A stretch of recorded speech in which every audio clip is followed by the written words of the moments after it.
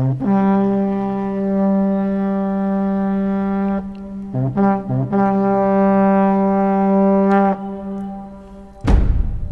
everyone, this is Gary from Fantastic Fundas and we are doing lecture 14, the revolt of 1857.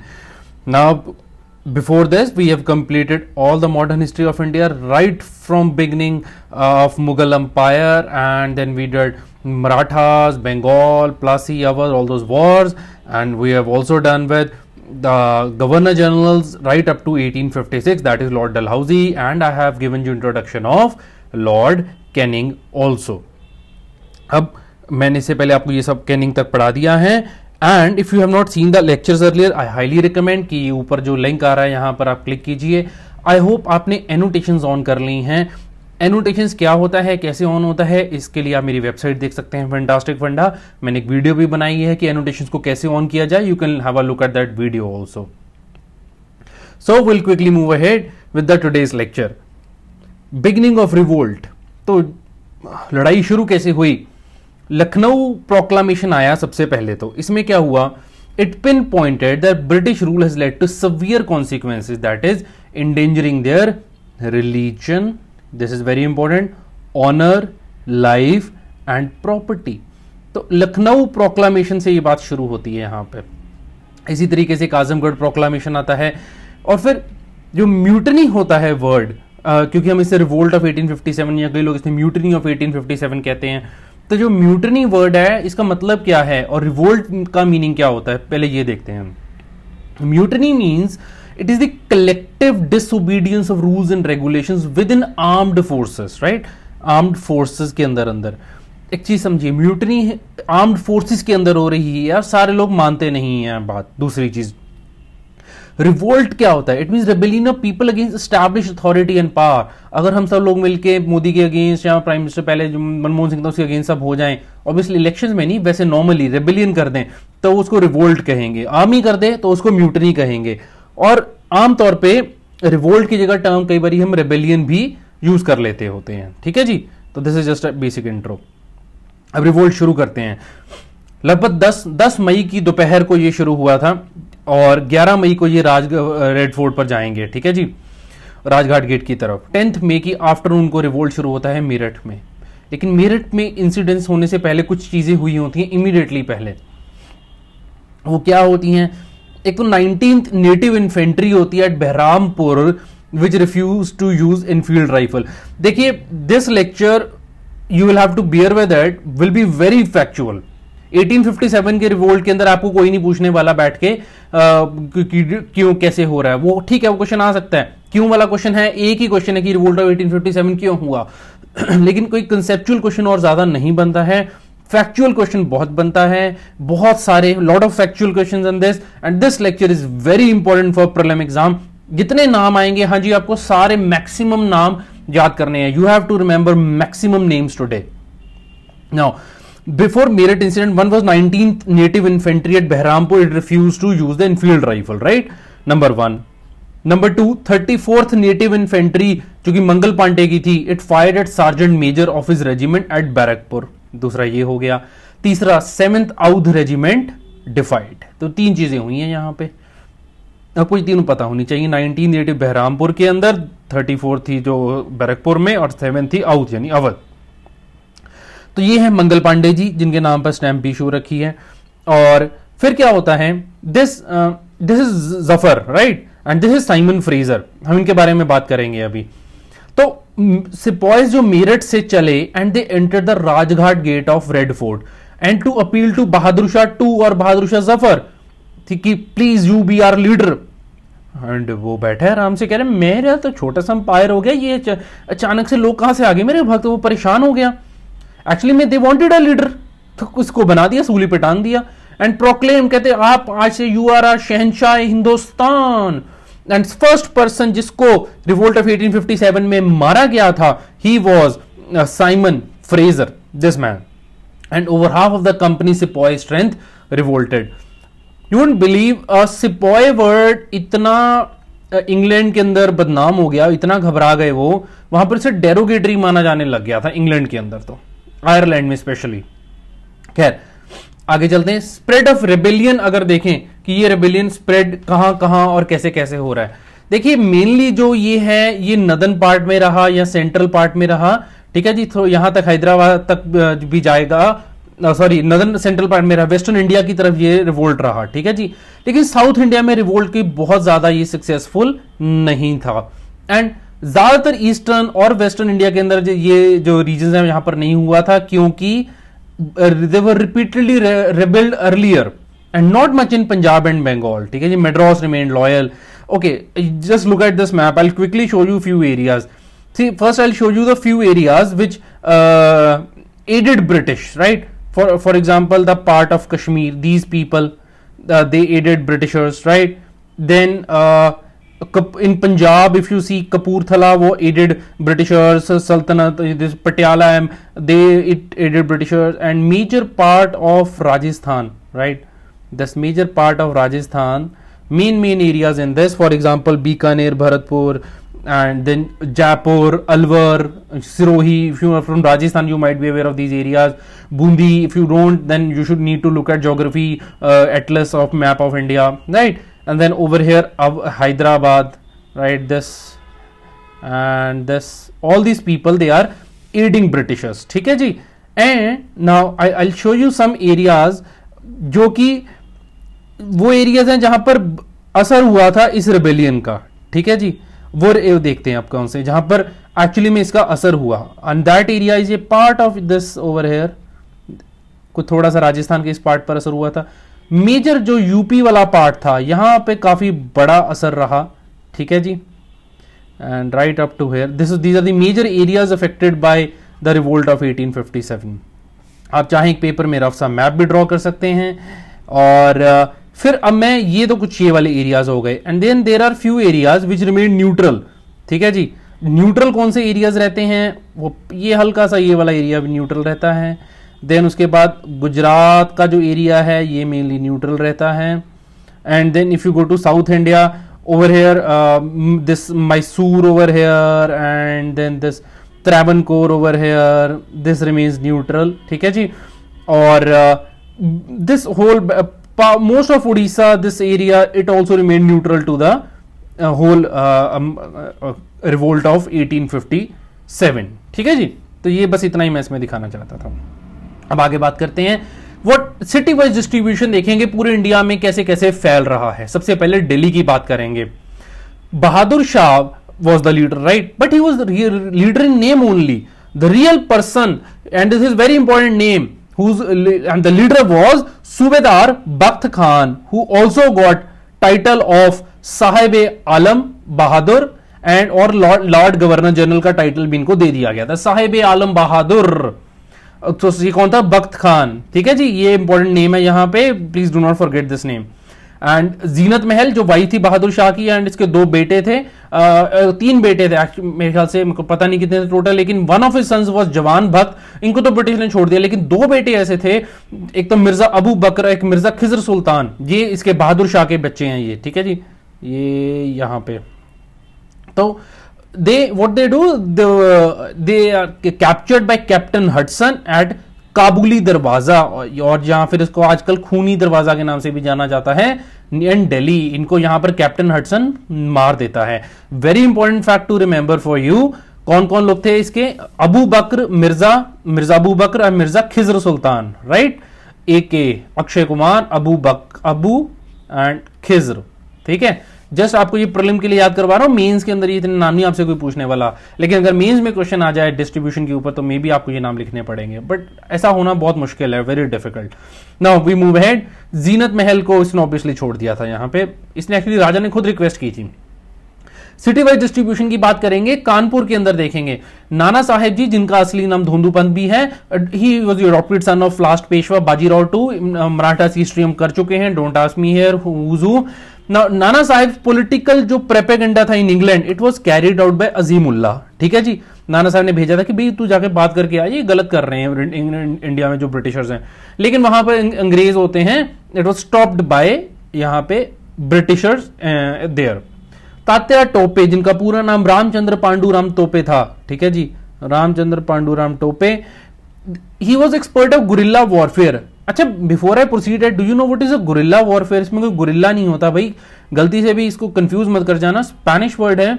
Guerrilla मतलब होता है एक small group या competent होता है, जो कि मिलिट्री टैक्टिक्स यूज़ करते हैं। वो एम्बुश कर सकते हैं हिट एंड रन कर सकते हैं सेबोटेज रेड किसी भी तरीके छोटे छोटे ग्रुप बन के मिलकर छुप के अटैक करते हैं। Shivaji was master of this guerrilla warfare right ना तात्या टोपे जो था he was the guerrilla warfare expert and appointed as commander in chief and general of Nana Saheb but he was betrayed here by Man Singh ठीक है जी?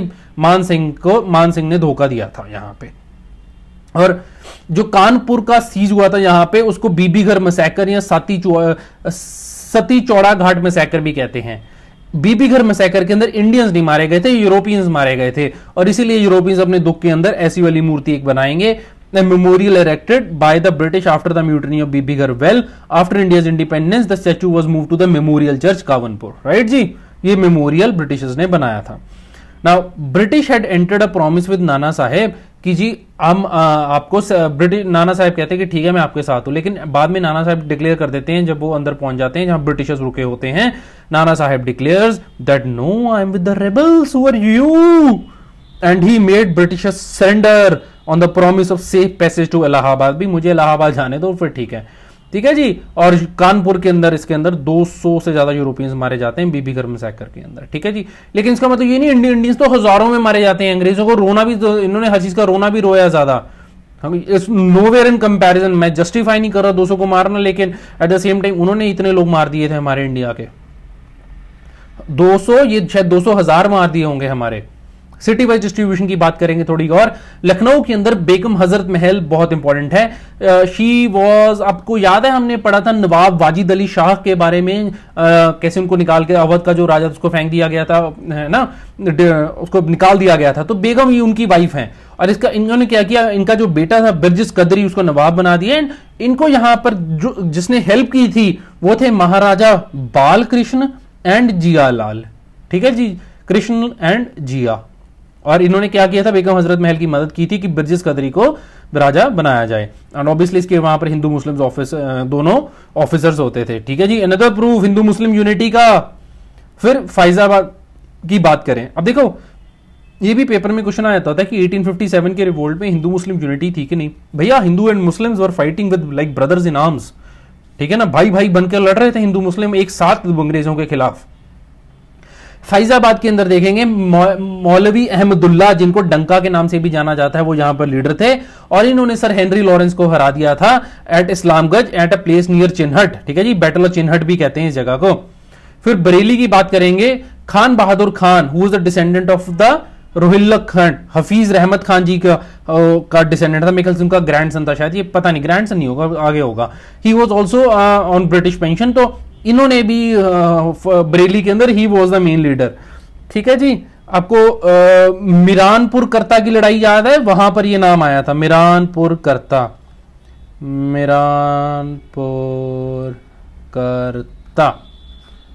Battle of Miranpur करता। You should remember this name then Jagdishpur Bihar के अंदर कुंवर सिंह जी का role बहुत important था। ये जमींदार थे वहाँ पे, यहाँ आरा डिस्ट्रिक्ट के अंदर। एक्चुअली आरा के अंदर था, ठीक है जी, ये हो रहा वहाँ पे ही।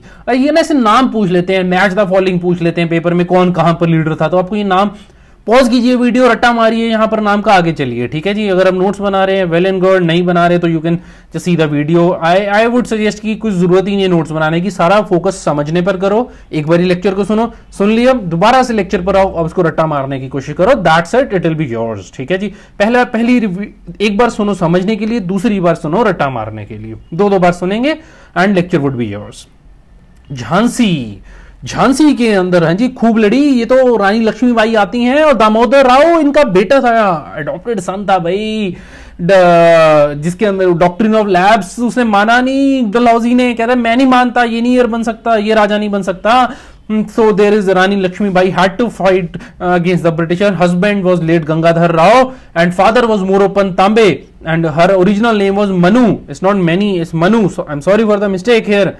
Manu and or Manu Karnika and she met Tatya Tope at Kalpi अब ये कल्पी कहाँ पर आता है जी? कल्पी झांसी और कानपुर के बीच में जगह है just in case you don't know this place Jhansi और ये इस तरफ़ कानपुर इन दोनों के बीच में कल्पी ठीक है जी?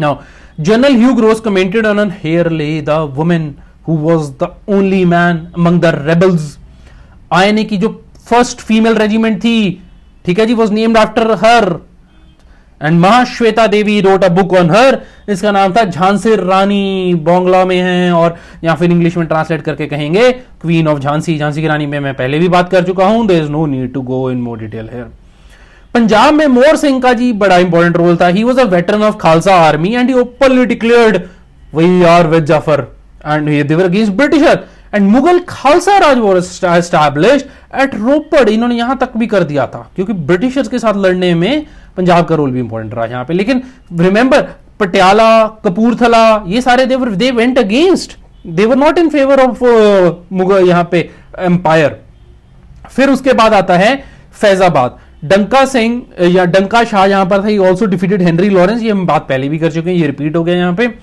बड़ूद की बात करेंगे। अगर आप मेरठ जाएँगे, मेरठ के आगे, ये है दिल्ली दिल्ली से आगे मेरठ और मेरठ से आगे बड़ूत, ठीक है? दिल्ली, मेरठ, बड़ूत, ऐसे हैं ये डी तो बड़ूत वहाँ पर एक एरिया है। अब क्या होता है कि शाहमल जाट यहाँ पर स्टाफ हॉल ऑफ़ जस्टिस बनाते हैं for settling the dispute among the locals south India की बात करेंगे। कित्तूड़, यहाँ जगह है near Belgaum Karnataka. Rani Chennamma supported by her army chief Sangolli Rayanna. Why am telling you this name एक तो रानी चन्नम्मा इज़ इंपॉर्टेंट यहाँ पे। दूसरा यहाँ पर जो चीज़ इंपॉर्टेंट है, वो है कि जो जो इनका आर्मी चीफ था रानी चन्नम्मा का, जिसका नाम था Sangolli Rayanna. He was the father of the guerrilla warfare tactics in India Sangolli Rayanna. Right Tamil Nadu के अंदर मारडू ब्रदर्स इंपॉर्टेंट हैं। वीरा पांड्या, कट्टा बोमन ही वॉज़ अ पॉलीगर पॉलीगर क्या होते हैं? Poligar is a feudal title for class of territorial administration and military chief appointed by Naickers Naickers क्या करते थे? कुछ लोगों को अपॉइंट करते थे। ये फ्यूडल टाइटल होता था किस चीज़ के लिए? टेरिटोरियल एडमिनिस्ट्रेशन के लिए और ये मिलिट्री चीफ भी होते थे। ठीक है जी? वीरा पांड्या, कट्टा बोमन, ये भी साउथ इंडिया का इंपॉर्टेंट यहाँ पे बंदा था जो पॉलीगर था, जिसने रिवोल्ट ऑफ़ 1857 में पार्ट लिया। लेकिन मोर और लेस साउथ इंडिया के अंदर ज़्यादा एक्टिविटी नहीं हुई, जैसे कि मैंने आपको मैप में भी दिखाया पहले। और फिर एक्शन क्या होता है? लॉर्ड कैनिंग जो होते हैं ही टेलीग्राफ टू एल्फिनस्टोन कि भैया, गड़बड़ होगी या फौज भेजो जल्दी। और नेचर ऑफ़ रेबेलियन क्या होता है? Civil rebellion had broad social base ठीक है जी? अब देखो किस किस ने इसके अंदर पार्ट लिया, है? पेजेंट ने लिया आर्टिसन ने लिया प्रीस्ट ने लिया शॉपकीपर ने लिया सिविल सर्वेंट ने लिया, इन सबने पार्ट लिया इसके अंदर, ठीक है? चाहे वो किसान था, चाहे वो आर्टिसन था, चाहे वो एक प्रीस्ट था, ठीक है जी? नेचर और रेबेलियन है लीडरलेस हर कोई अपना ही लड़ रहा है। Territorial feudal chiefs came ahead क्योंकि वो अपने अपने इंटरेस्ट के लिए लड़ने आ गए rather than for India so many people were fighting for themselves Hindu and Muslim rebels दोनों लड़ रहे देर वॉज़ नो कम्युनलिज्म ठीक है जी? They respected each other sentiment company के अंदर सर्व करना प्रेस्टिजियस था। क्यों? उस टाइम पर इकोनॉमिक स्टेबिलिटी आती थी। अब ये अलग बात आ जाती है यहाँ पे, ठीक है? आप मेरे से पूछेंगे, ये सिपॉइज तो कंपनी के एम्प्लॉय थे। पैसे भी मिल रहे थे कंपनी के साथ काम करना प्रेस्टिजियस भी था। Then why were sepoys fighting why revolt will answer this question here revolt because एक तो सबसे पहले रिलीजियस बिलीफ मेरे को पता आप सबने यही सोचा है। सिपॉइज वर या फिर आपने सोचा होगा वो कि इनफील्ड राइफल्स वाला मुद्दा, वो आई आंसर दैट लेकिन let's talk about it sepoys were mainly from upper caste upper caste में क्या होता था? अभी इस टाइम पे वो कह रहे हैं जी कि सी नहीं क्रॉस कर सकते, क्यों? बड़ा ये रिलीजन के खिलाफ है, क्योंकि कास्ट ही लूज हो जाती है। ठीक है ना जी? आपने हल्का सा भी कुछ कर दिया तो कास्ट लूज हो जाती है। मैं पीछे ना एक बुक पढ़ी थी इसका नाम है कंतपुर। उस कंतपुर बुक के अंदर भी ना राजा राव एक ऑथर है उसकी लिखी हुई है and talks about this era only casteism की बात की है उसने during pre British times sorry during the British time तो उसके अंदर भी talks about how rigid the caste believe are in people ठीक है जी? खैर तो uh, अब क्या होता है कि क्रॉसिंग सी वॉज़ कंसिडर तो फ़र्स्ट इंस्टेंस क्या होता है सी क्रॉस करने का? जब forty seven regiment at Barrackpore is sent to Burma in 1824 और दूसरी चीज़ same happen during Afghan war 1842 में समुद्र पार कर लिया जी, यहाँ तो नदी नहीं पार कर सकते, समुद्र पार करवा दिए इनसे। फिर कन्वर्जन टू क्रिश्चियनिटी मिशनरीज काफ़ी ओपनली और अग्रेसिवली यहाँ पर कन्वर्जेंस कर रहे थे। देखो this was allowed by 1813 act जो मिशनरीज का यहाँ आना था and number of nobles at increase by 1833 और दोनों एक्ट्स के अंदर ये मैंने बात भी की अगर आपको याद हो। फिर खबरें कुछ ऐसी आती थी, आटे में बोन डस्ट फ़िल्म मिला दी गई। ठीक है जी? हड्डियों का चूरा मिला दिया गया। Very low emoluments as compare to British soldiers ठीक है जी? उनके कंपैरिजन में अगर देखते हैं हम। फिर सिपाही को सिर्फ़ सेवन रुपीज़ पर मंथ मिलते थे। They were made to feel subordinate to British counter part अरे भैया सिपॉय की वर्दी तो चाहे अंग्रेज़ों की थी, जिस्म तो इंडियन था, उसका दिल तो उसके अंदर जो मन, उसकी आत्मा थी, वो तो इंडियन थी। तो कैसे वो छोड़ दे? इंडियननेस अपनी consciousness still related to rural population इसलिए सिपॉय ने हमला किया। लेकिन जो सबसे खतरनाक चीज़ कर दी ब्रिटिशर्स ने, कभी सपने में भी नहीं सोचा होगा, जब वो new rifle P one eight five three यानी कि इनफील्ड राइफल लेके आए, उसके ऊपर ग्रीस होती थी बीफ और पोर की, गाय का मांस और सुअर के मांस की उसके अंदर होती थी। और अब इसलिए हिंदूज और मुस्लिम दोनों गुस्सा खा जाते हैं इस बात के ऊपर। अब होता कहता ये काम कैसे करती थी? हम इसके बारे में थोड़ी सी बात करेंगे। अब क्योंकि सब लोग काफ़ी डिटेल में जाने लग गए हैं तो this is one topic I feel needed to be address in little detail ठीक है जी? तो प्रिकशन लॉक राइफल होती थी producing British ordnance factory at Enfield एक जगह है लंदन के अंदर, वहाँ पर इसको प्रोड्यूस किया जाता था। ठीक है जी? 1853 से ब्रिटिश आर्मी इसको यूज़ कर रही थी, और फिर इसको इंडिया में फिर भेज दिया गया। इसके अंदर क्या होता था? राइफलिंग करनी पड़ती थी। ऐसे ना उसका मसाला खोल के पाउडर खोल के इसके अंदर डालना होता था गन में, और फिर फायर होती थी गन ये देख रहे हैं, ये कर रहे हैं यहाँ पे। ये पेपर केस ये पाउडर ये बुलेट की ग्रीस ग्रीस को मुँह से खींचो पाउडर बाहर आ जाएगा पाउडर इसको गन में डाला जाएगा। एक डंडी लेकर उसके अंदर उसको रैम रॉड कहते थे इसे। अंदर इसको धक्का इसको मारा जाएगा, और राइफल बैरल के अंदर, और फिर पेपर डाला। बच्चों, बस फिर मैकेनिज्म में क्या जाना उससे फायर होता था। जो ये ज़्यादा एक्यूरेसी आ गई इससे और ज़्यादा दूरी तक इससे आप फायर कर सकते थे, ठीक है जी? ब्रिटिशर इससे पहले जो राइफल यूज़ कर रहे थे वो थी best smooth bore flintlock musket इससे पहले मस्कट यूज़ हो रही थी, जो स्टैंडर्ड वेपन था। लेकिन अब यहाँ पर इनफील्ड राइफल आ गई, जो कि इनफील्ड एरिया है, वहाँ पर प्रोड्यूस हो रही थी। फिर रिवोल्ट होने के कुछ और भी कारण है। नया लैंड रेवेन्यू सिस्टम आ गया। हमें पता है इसे औद में बड़ा चक्कर पड़ा। ब्रिटिशर्स का एक ही मकसद है पैसे कमाना मैक्सिमम एफर्ट मिनिमम एफर्ट से। एंड सेटलमेंट जल्दी जल्दी करते थे। एंड अगर आप क्रॉप ग्रो कर रहे हो, फिर तो आप पर टैक्स लगता है लेकिन अगर आप ग्रास ही ग्रो हुई है, फिर भी आप पर टैक्स लग रहा है। Even if you growing just the grass and not the crop even then you are being taxed heavily misery for artisans and handicraftsmen. As states for annexed then their patronage was cut off. ठीक है जी? Artisan तो तभी survive करेगा ना। And no modern industry was made Hindus and Muslims felt that through though, through legislation their religion was being destroyed. They also thought it was favoring missionaries. Hindu and Muslims को यहाँ पर अपना risk रहा। एक religion का risk लोगों के अंदर जो फियर है वो बड़ा स्ट्रांग था। ये भी कारण था। अच्छा सूखे पड़ गए जी। ट्वेल्व फेमीन्स आ गई। सूखे मतलब भुखमरी फैल गई। 1770 टू 1857 बारह फेमीन्स आ गए 80 साल में 90 साल में लगभग।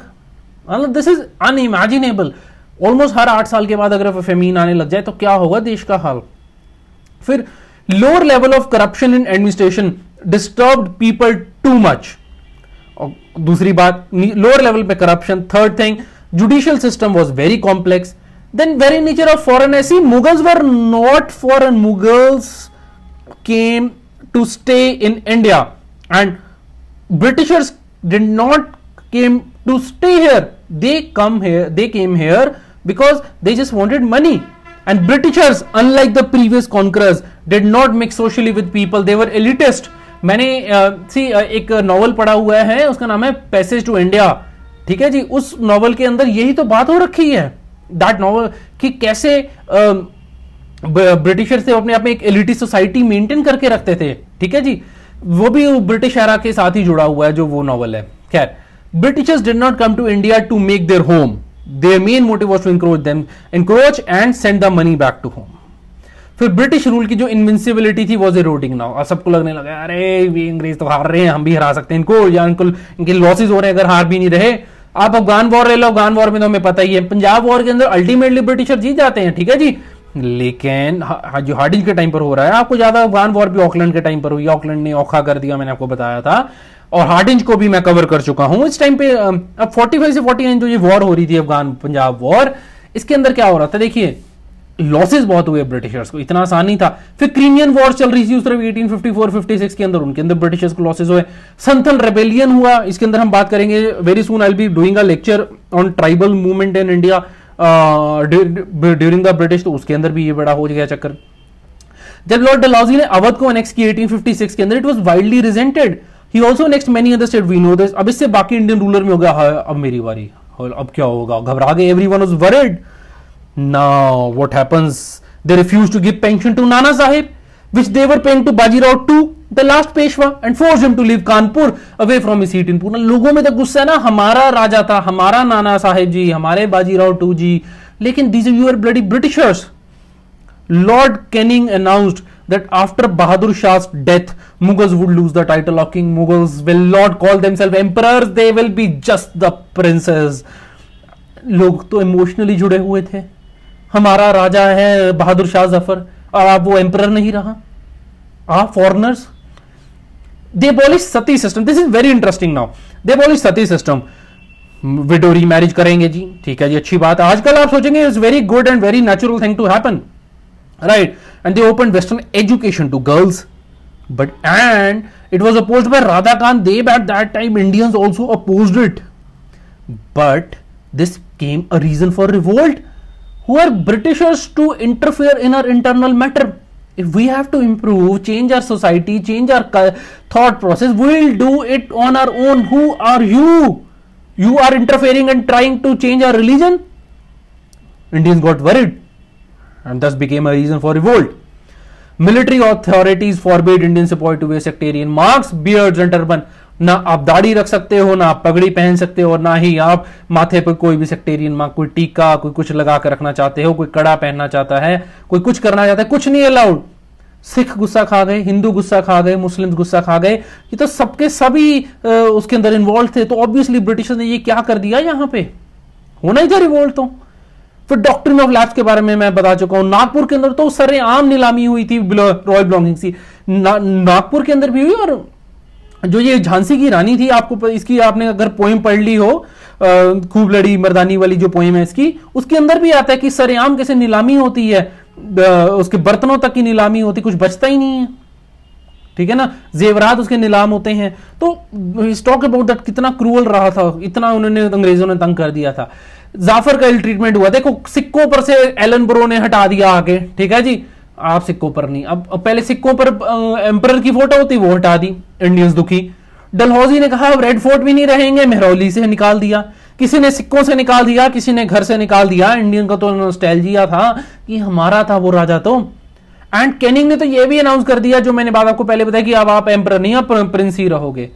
अवध की एनेक्सेशन से सारे घबरा गए। और क्रिश्चियन मिशनरीज की एक्टिविटी बढ़ गई, नई एजुकेशन पॉलिसी आई। इसकी वजह से भी रिवोल्ट हो गया। कैसे? जब उन्होंने वो इंग्लिश में टीचिंग शुरू की, लोगों को लगा कि it is an attempt to convert them to Christianity तो वो घबरा गए लोग तो इसलिए भी ये रिवोल्ट हो गया। अब सिपॉइज की तो पहली सेटिस्फैक्शन नहीं थी। कैसे? एक तो सिपॉय म्यूटनी होकर चुकी थी। 1764 में बंगाल में हमने इसके बारे में बात की है। वेलोर म्यूटनी के बारे में हमने बात की है। बैरकपुर म्यूटनी हुई थी 1824 में। हमने सबके बारे में बात की है। 1844 के अंदर seven battalion revolted on bhatta issue भत्ता क्या था? वो जो भत्ता मिलता था ना, सात रुपए चलता मिलता था भत्ता इनको सिपॉइज को पर महीने की इनको इनकी इनकम होती थी। That income of per month of seven rupees that was not being given and high dissatisfaction that Frederick Halliday उस टाइम पे lieutenant governor of Bengal and I told you where this lieutenant governor post comes in 80 through 1853 act please go and revise it Bengal army more or less always on the verge of revolt. And certain to have mutinied at one time or another as soon as provocation might combine with opportunity. ठीक है जी? Sir Syed Ahmad Khan in इस book the causes of the Indian mutiny ये sir Syed Ahmad Khan ji हैं। The founder of the Mohammad Mohammad Anglo Oriental college later the Aligarh Muslim university इसके बारे में हम बात कर चुके हैं एक बारी, और भी करेंगे। He wrote one of the early critic the causes of the Indian mutiny 1859 क्या लिखा इन्होंने? Indians fell into the habit of thinking that all laws were passed with a view to degrade and ruin them and to uh, deceive them and their compatriots of their religion. People rejoiced heartily at the idea of British rule being superseded by another. ये था Indians का हाल।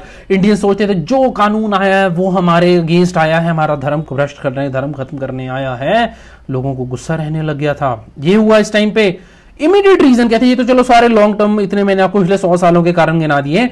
Immediate reason थे, एक तो उनको फॉरन भत्ता नहीं मिलता था जब बाहर लेकर जाते थे। ठीक है जी? बुलेट्स वाला इशू था एनफील्ड राइफल्स वाला जो था एनफील्ड एंड अवध की एनेक्सेशन का इशू था। ये तीन थे इमीडिएट कारण रिवोल्ट के होने के।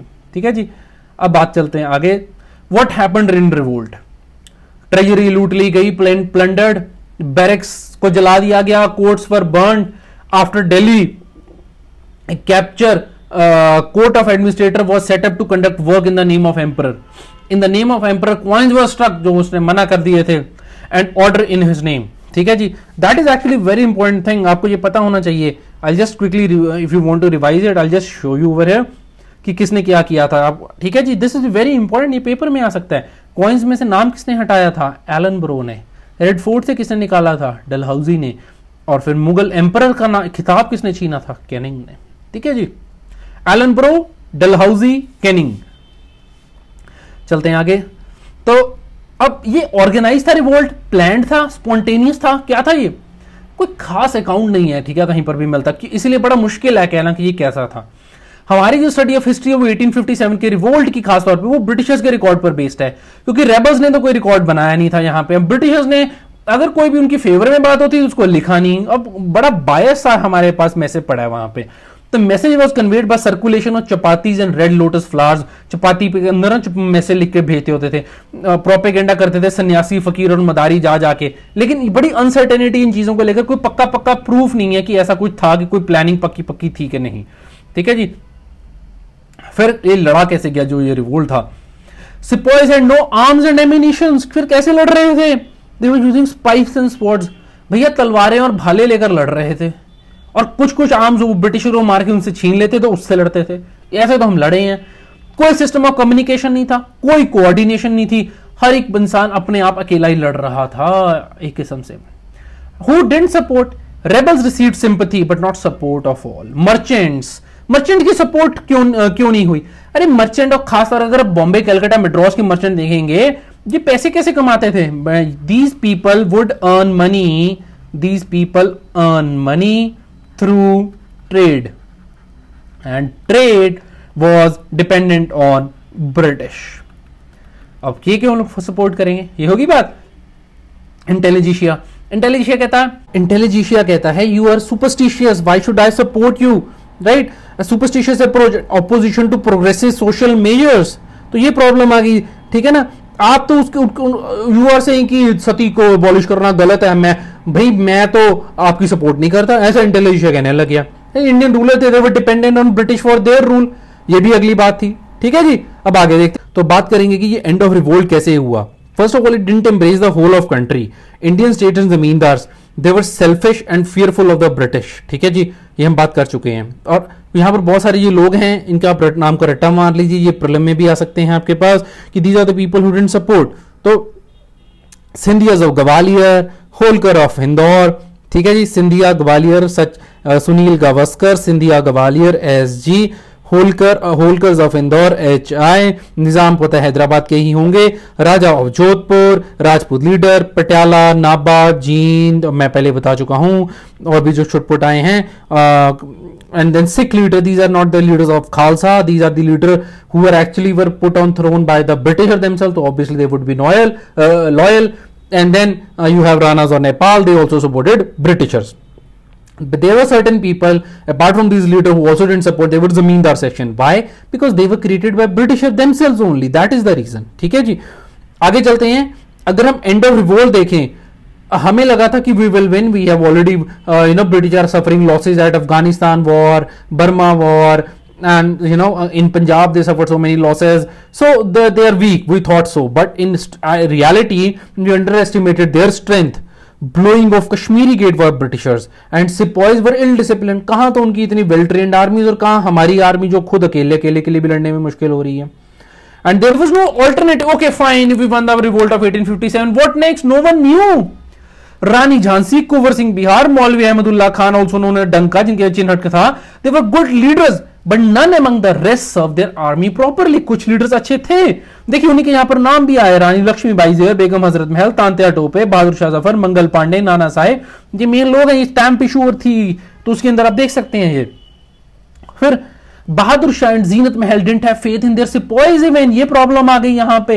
And they they one negotiated with British for their safety taluqdar होते हैं। इस टाइम पे तालुकदार होते हैं बड़े बड़े जमींदार। तो लाइक मान सिंह हुआ था एक यहाँ पे। He changed his side so many times and he also cheated we read about it now no political perspective of sepoys rebels were fighting to regain their lost privileges right वो अपनी अपनी उसके लिए लड़ रहे थे इंडिया के लिए नहीं कोई बहुत सारे लोग लड़ रहे थे ये भी एक प्रॉब्लम थी कुछ लोग थे भी लड़ रहे first of all was Delhi oh Bahadur Shah Humayun की टूम में छुप गया और उसको फिर वहाँ से और क्या हुआ? उसको रंगून भेज दिया वहाँ जाके 1862 में उनकी डेथ हो गई। ये बहादुर शाह ज़फ़र देख लो साइड पे क्या कर रहा है। ठीक है जी? uh, 1857 के अंदर। रानी झांसी की डेथ हो गई 17 जून 1858 को। नाना साहेब नेपाल चले गए। Tantya Tope carried on war till 1859 but he was betrayed by zamindar friend and captured while sleep ठीक है जी? तांत्या टोपे का टोपे के साथ धोखा हो गया। फिर By 1859 कुंवर सिंह बख्त खान खान बहादुर खान और बरेली राव साहेब, मौलवी अहमदुल्ला सबकी डेथ हो चुकी है। बेगम ऑफ़ अवध नेपाल चली गई। ये बहादुर शाह ज़फ़र का हाल देख रहे हैं 1858 में just after trial and before departure exile this one of the real pictures and rare pictures of Bahadur Shah Zafar हाल देख लीजिए क्या हो गया इनका। इंपैक्ट क्या रहा रिवोल्ट का? For the first time consciousness आई हमारे अंदर इंडिया एज अ नेशन की। बाय 1850 ब्रिटिश अथॉरिटी बाय ये गलत लिखा है by 18 sorry by 18 this is not by 1859 right 59 authority was reestablished fully तो क्या हो गया कि हमारा जो रिवोल्ट था, ये फेल हो गया, ये खत्म हो गया, कुछ भी नहीं हुआ इससे? है, क्या हुआ?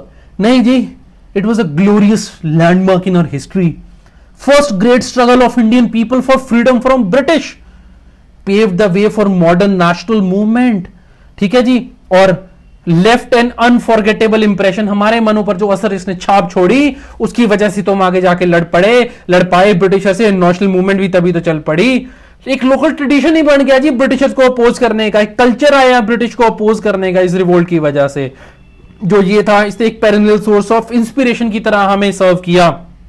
जो हीरोज ऑफ़ रिवोल्ट थे they became household names in country the name of the mention of which was frowned by britishers जो भी इसका करेक्टर रहा हो रिवोल्ट का, आप इसको रिवोल्ट कहिए म्यूटनी कहिए रेबेलियन कहिए, आप इसको रिलीजियस वजह से कहिए सोशल या एडमिनिस्ट्रेशन या फ्यूडल कहिए, कुछ भी कहिए, लेकिन it shook the foundation of the mighty British rule and also let to rise of national consciousness this page is very important for writing in paper देखिए, इसको कम से कम वर्ड में लिखने की कोशिश कीजिए।